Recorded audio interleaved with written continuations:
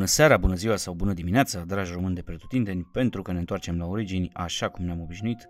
Bine ați revenit la un nou episod al RRC Podcast. Următorul material vă este adus via acad.ro, socola.eu, wikipedia.com și historia.ro. Savant de talie mondială de o inestimabilă valoare, omul de știință american de origine română, George Emil Palade, s-a născut la Iași la 19 noiembrie 1912. Dar cine a fost și ce a făcut de fapt George Emil Palade? Acest savant, care a fost un geniu aproape alungat din memoria de scurtă durată a celor care au rămas doar cu preocuparea constantă pentru ziua de mâine și cu rămășițele banale ale zilei de ieri, cel care a fost echivalentul lui Einstein pentru biologia celulară și care a descoperit mitocondriile. Și această infimă introducere încă nu îi face pe deplin cinste. George Emil Palade a fost un biolog, medic și om de știință româno-american, specialist în biologia celulară, laureat și câștigător al Premiului Nobel pentru Fiziologie și Medicină. În 1986 i-a fost conferită în Statele Unite National Medal of Science, adică Medalia Națională pentru Știință, în biologie pentru, deschidem citatul, descoperiri fundamentale de pionierat în domeniul unei serii esențiale de structuri supracomplexe cu înaltă organizare prezente în toate celulele vii. Închidem citatul. La vârsta de șapte ani, el și-a început pregătirea școlară la școala numărul 33 Mihail Cogălnicianu din Iași, aflată pe strada Lascăr Catargiu, numărul 28, unde a învățat timp de 3 ani, între 1919 și 1922. Clădirea școlii datează din 1895 și este monument istoric. Pe peretele școlii, lângă intrare, a fost amplasată o placă memorială cu următorul text. Deschidem citatul.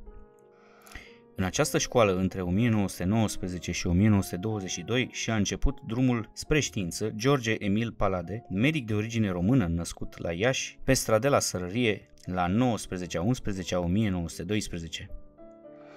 Descoperirile sale reprezintă eforturile susținute în domeniul cercetării fundamentale în biologie și medicină, eforturi apreciate de comunitatea științifică internațională prin acordarea în 1974 a premiului Nobel ceea ce conferă un prestigiu strălucit științei și culturii românești. Închidem citatul. Dar să vedem câteva relatări inedite despre părinții lui George Emil Palade, care ne povestesc după cum urmează. Deschidem citatul. Emil Palade a participat la campania din Bulgaria, al doilea război balcanic din 1913. Ca orice învățător și ca orice om școlit, la vremea respectivă era comandant de companie. Când a început războiul, adică primul război mondial, a fost din nou concentrat. La 15 august 1917 a participat la luptele de la Oituz, unde apăra o colină cu compania lui. Au fost încercuiți și au ajuns prizonieri în Germania. Prima dată a fost la Hanovra, încartiruit ca prizonier. Acolo, colonelul Sturza, trecut de partea nemților, a dus o activitate de racolare a ofițerilor și soldaților pentru a lupta alături de puterile centrale împotriva Antantei și a țării.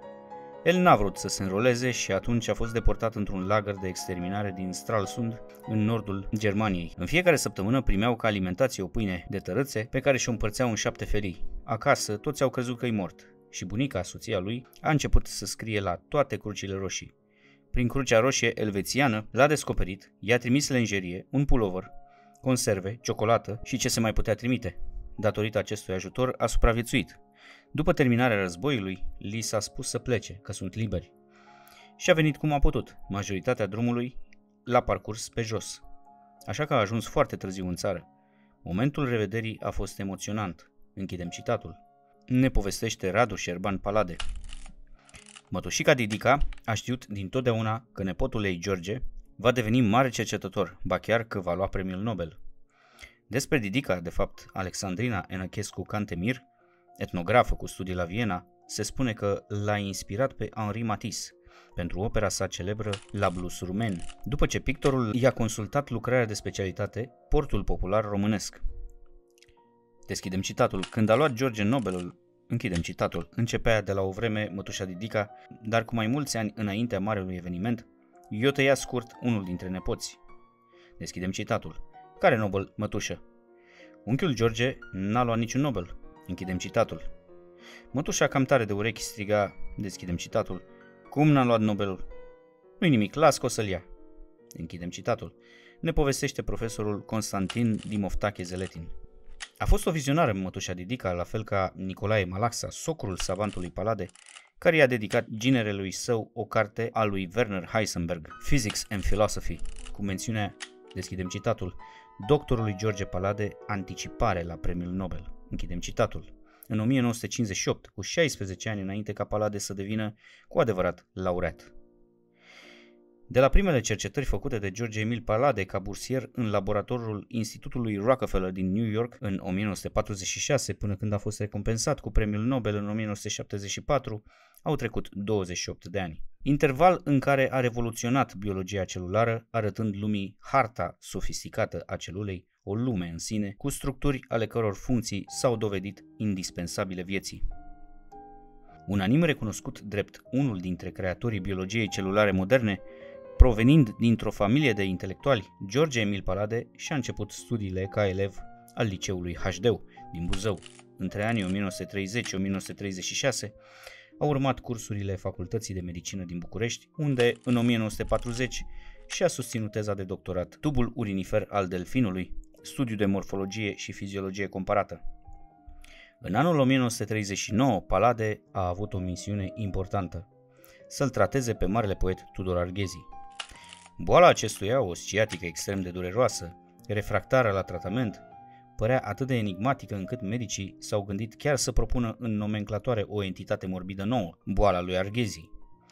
Așa cum înainte cu un deceniu, intenționaseră să dea formei clinice extrem de particularizate a febrei tifoide, boala lui Tache Ionescu.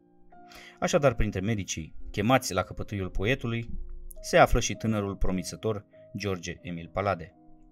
Deși nu reușește să-i găsească poetului remediul, Palade ia hotărârea să oprească administrarea morfinei cu sprijinul puternic al Paraschivei Arghezii, soția poetului. După ce s-a recuperat în urma unei injecții făcute de doctorul Dimitrie Grigoriu Argeș, Arghezi a scris piesa Seringa, în care i-a ironizat pe toți medicii pe care i-a întâlnit. George Emil Palade a fost și el ținta ironiilor. Totuși, un amănunt i-a scăpat poetului în Seringa.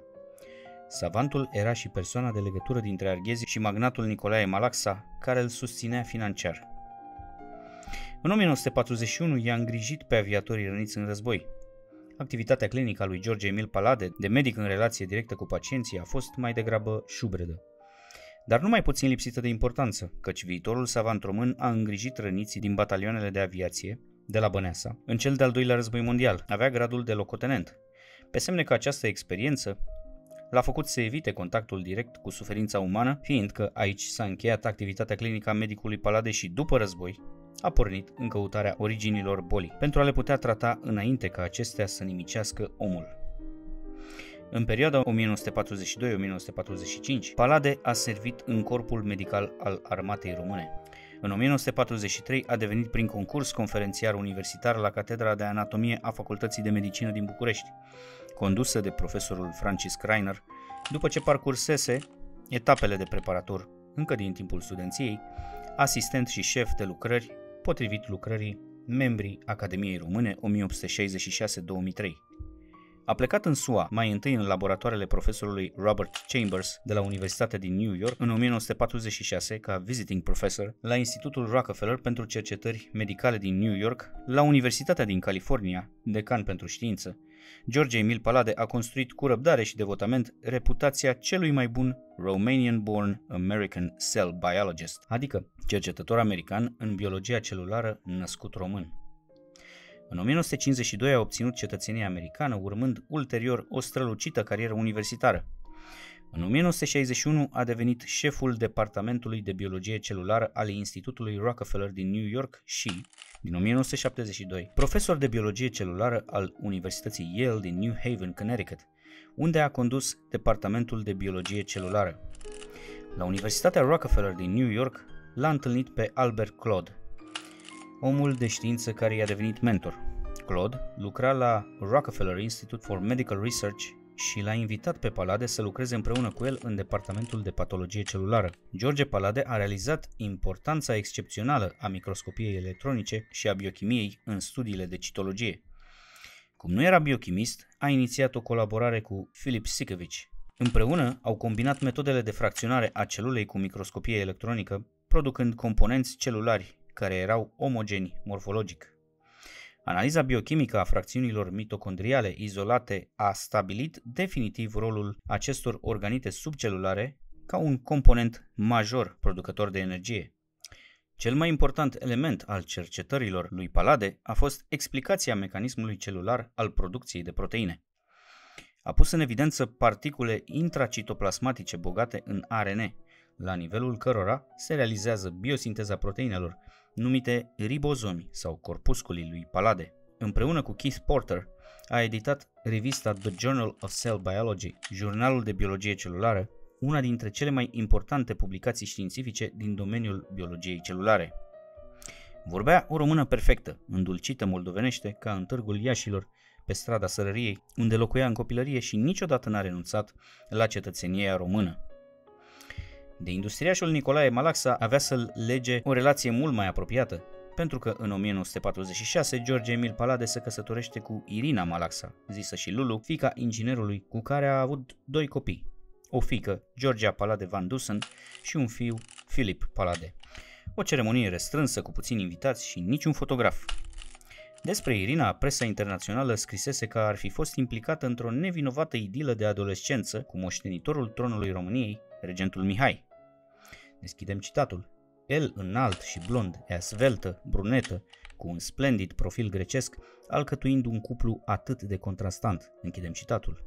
Cum îi descria în iulie 1939 cotidianul american Palm Beach Report. La scurt timp după căsătorie, geniul și zeița au plecat în America, pe căi legale cu acte în regulă, căci era 1946, iar lucrul acesta încă se putea. George Emil Palade a știut să privească în interiorul celulei, i-a văzut componentele și a înțeles care sunt funcțiile lor specifice. A explicat balanța organică subtilă a eliminării și arderii deșeurilor microscopice, deci balanța energiei vieții. Și prin aceasta o spunem, George Emil Palade este nucleul biologiei celulare, căci datorită lui putem vorbi acum despre studiul celulei ca domeniu distinct în cercetarea medicală.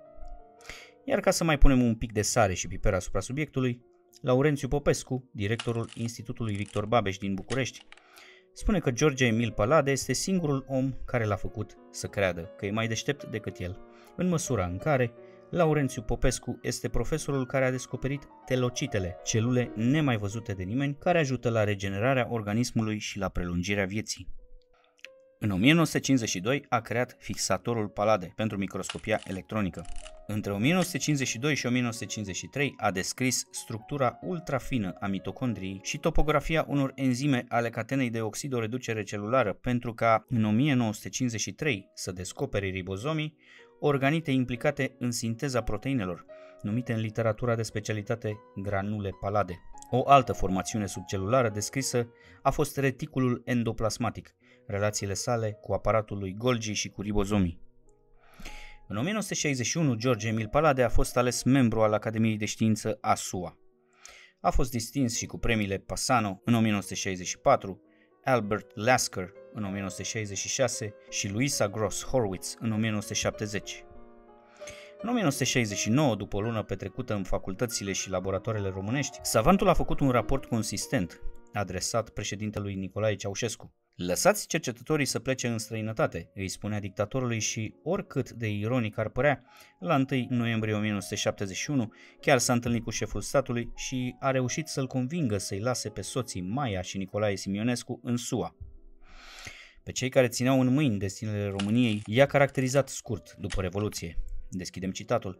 Erau în mod evident interesați de valoarea propagandistică a relației cu mine. Închidem citatul. În 1974, George Emil Palade primește cea mai înaltă confirmare, Premiul Nobel pentru Fiziologie sau Medicină. În 1975, Academia Română îl alege membru de onoare. Nu a luat pe nimeni prin surprindere vestea din octombrie 1974 că Palade și colegii săi, Albert Claude și Christian de Duve, sunt laureații Nobel pentru medicină ai anului atât de izolat în activitatea de cercetare, George Emil Palade nu a vrut să fie singur la festivitatea de premiere organizată la 10 decembrie 1974, ca în fiecare an, la comemorarea morții lui Alfred Nobel. A dat nenumărate telefoane în țară, la rude, să le invite la Stockholm. S-a oferit chiar să le plătească biletele de călătorie și tot ceea ce era necesar pentru sejurul în capitala suedeză, dar plecarea din România nu era un lucru atât de simplu. Aveai nevoie de pașaport, care la vremea aceea nu putea fi eliberat. Dacă era eliberat, mai devreme de trei luni, inutil pentru familia Palade din România, pe care o despărțeau doar câteva zile de festivitate. Cu îngăduința premierului de atunci, Manea Mănescu, au obținut rapid pașapoartele Adriana și Constanța, Cim, Palade, surorile savantului, precum și doi dintre nepoții lui, Radu Șerban și Irina Alexandra, Ina. Și-au pus în bagaje rochile lungi, de ceremonie și fracul cu guler tare și papion și au plecat la Stockholm. Ajunși aici, au întâlnit pentru prima oară familia din America a savantului, pe cea de-a doua soție, cercetătoarea Marilyn Farquhar, și pe copiii lui, Filip și Georgia, împreună cu soțul ei, Derek Van Dusen. Ei 8 și cu savantul 9 au pășit împreună în marea sală de concerte din Stockholm, împodobită cu trandafiri proaspeți, aduși special de la Sanremo. Aici a dat palade mâna cu regele Carl Gustaf al XVI-lea al Suediei, care i-a înmânat neprețuita medalie Nobel, o diplomă și un cec în valoare de aproximativ 160.000 de coroane suedeze, care acum valorează cât un milion de coroane, adică puțin peste 500.000 de lei noi. După ce a fost îndulcit de mirosul îmbietor al trandafirilor, copleșit de numărul mare de savanți și năucit de blitzurile declanșate fără oprire, publicul a fost plăcut surprins de prezența scriitorului rus Alexander Solzhenitsyn. Pe aceeași scenă cu George Emil Palade, romancerul anticomunist a primit medalia Nobel, câștigată cu patru ani în urmă, în 1970, pentru literatură. Ca o paranteză, întârzierea a fost cauzată de imposibilitatea lui Solzhenitsyn de a părăsi Uniunea Sovietică în anul respectiv. Pe scurt, premiul Nobel pentru fiziologie sau medicină a fost acordat în 1974 echipei formate din Albert Claude, Christian de Duve și George Emil Palade, deschidem citatul, pentru descoperirile lor privind organizarea structurală și funcțională a celulei. Închidem citatul. Potrivit descrierii formulate de Comitetul Nobel. Deschidem citatul. Am înțeles în sfârșit, în termeni generali, cum este organizată celula, cum funcționează organitele ei specializate, într-o manieră integrată pentru a-i asigura supraviețuirea și multiplicarea. Aceste cunoștințe au început deja să fie puse la treabă pentru înțelegerea funcțiilor celulelor anormale. Multe dintre problemele medicale majore ale zilelor noastre sunt boli degenerative, care își au punctul de pornire la nivel celular și care pot fi puse pe seama disfuncțiilor mecanismelor de reglare a celulelor. Biologia celulară face posibil, în sfârșit, un vis vechi de un secol, acela de a putea analiza bolile la nivel celular, primul pas către controlul lor. Închidem citatul explica George Emil Palade în discursul său de mulțumire din cadrul banchetului Nobel la 11 decembrie 1974. Mai exact, odată ce lumea medicală a înțeles bucătăria internă a celulei și care sunt funcțiile normale ale acesteia, a devenit mult mai ușor de identificat originea celulară a bolilor și descoperirea unor tratamente care să acționeze direct asupra sursei lor. George Emil Palade a fost explorator al unei lumi noi, al cărei cartograf a devenit, Deschidem citatul. Orice desen al celulelor din 1952-1953, până când va pieri omenirea, va fi cu ceea ce a făcut Palade. Închidem citatul. Spune profesorul Laurențiu Popescu, directorul Institutului Victor Babeș din București.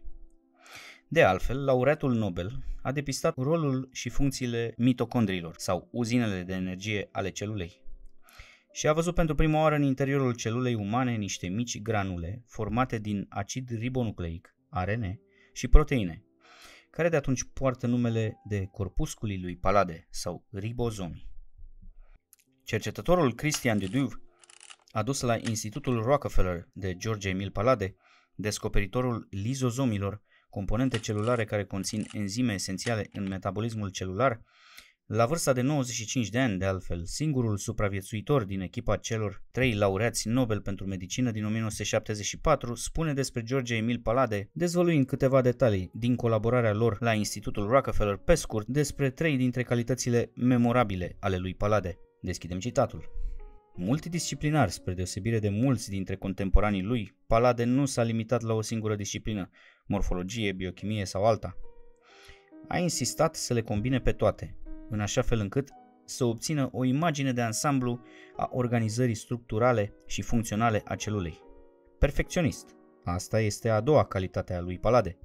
În toată munca lui a insistat asupra rigorii și calității, nu doar în ceea ce îl privea pe el însuși, ci și pe colaboratorii săi. Pentru el, știința era de asemenea artă și, nu în ultimul rând, Palade era șarmant. Era un gentleman de școală veche, cu o etichetă și cu o carismă de excepție, radia autoritate, dar fără nicio urmă de aroganță. Închidem citatul, își amintește de Duve. Le Figaro, Le Monde, L'Aurore și International Herald Tribune au descris amănunțit descoperirile celor trei laureați Nobel pentru medicină, George Emil Palade, Christian de Duve și Albert Claude, la 11 octombrie, a doua zi după publicarea comunicatului de presă.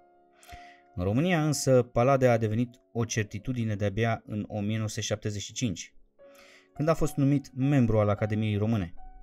În octombrie 74 se auzise vag că un român a primit premiul Nobel. La publicarea comunicatului, România Liberă cita Ager Press în nu mai mult de 8 rânduri pe pagina 12. Deschidem citatul. Premiul Nobel pentru medicină pe anul 1974 a fost atribuit profesorilor Albert Claude de la Universitatea Liberă din Bruxelles, Christian de Duve de la Universitatea Rockefeller din New York și George Emil Palade de la Universitatea Yale din SUA. Cei trei oameni de știință au primit înalta distinție pentru descoperirile lor asupra organizării structurale și funcționale a celulei, închidem citatul. Nimic despre naționalitatea română a profesorului Palade.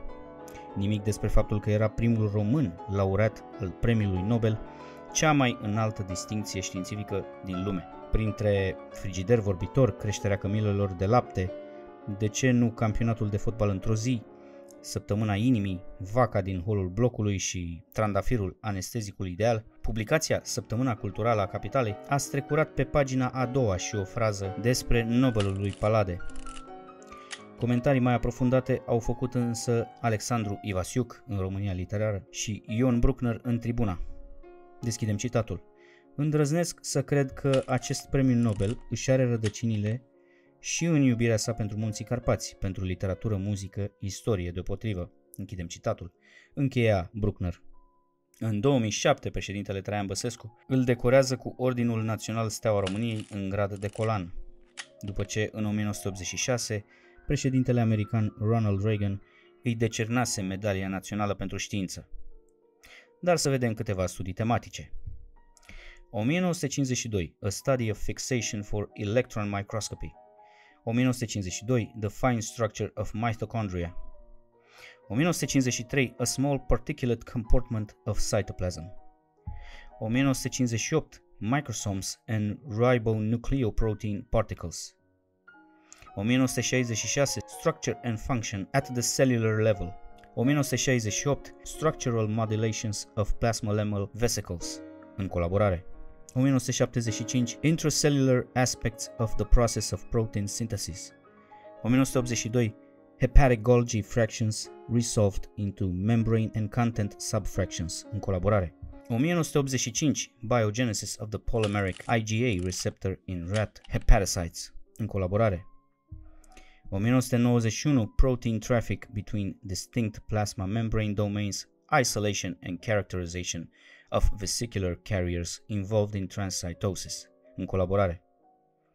1992, Isolation and Partial Characterization of the Luminal Plasmalemma of Microvascular Endothelium from Rat Lungs, în colaborare. 1994, membrane and secretory proteins are transported from the Golgi complex to the sinusoidal plasmalemma of hepatocytes by distinct vesicular carriers, în colaborare. 1995, Protein Kinesis, The Dynamics of Protein Trafficking and Stability. 1997, Plasma lemma vesicles function as transcytotic carriers for small proteins in the continuous endothelium, în colaborare. Și tot în 1997, neovasculature induced by vascular endothelial growth factor is fenestrated, în colaborare. George Emil Palade a decedat la 7 octombrie 2008 la ora 12 și 5 în San Diego, California. Mai avea o lună și ar fi împlinit venerabila vârstă de 96 de ani. A fost incinerat fără vreun impediment mediatic, iar cenușa sa a fost împrăștiată de copiii săi, Filip Palade și Georgia Palade Van Dusen, în masivul Bucegi, de pe vârful Cudor. Acestea fiind spuse, am consemnat. Dacă v-a plăcut acest episod, dați-ne un like sau un comentariu ca să știm de voi. Iar dacă nu ați făcut-o încă, dați subscribe la canal. Toate cele bune în continuare!